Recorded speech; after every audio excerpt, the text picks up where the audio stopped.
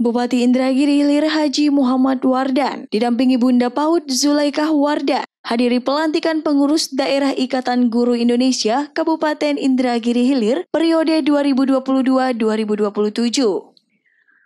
Pelantikan yang dilaksanakan oleh Ketua Wilayah IGI Provinsi Riau Yulis Mar ini berlangsung pada Rabu 1 Februari 2023 di salah satu aula hotel di Tembilahan. Dengan dilantiknya, pengurus IGI Inhil Bupati Haji Muhammad Wardan berharap IGI dapat berkontribusi memberikan masukan terkait persoalan pendidikan kepada pemerintah daerah demi peningkatan kualitas pendidikan di Kabupaten Indragiri Hilir.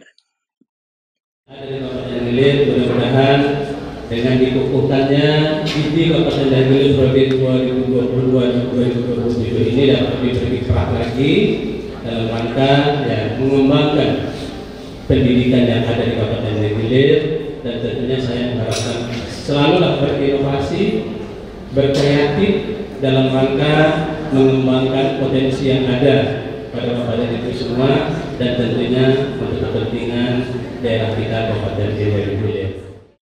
Pada akhir acara dilaksanakan penyerahan buku cerita anak dari negeri Seribu Parit dan Gurindam Kalbu. Dilanjutkan penyerahan buku bupati kepada pengurus IG.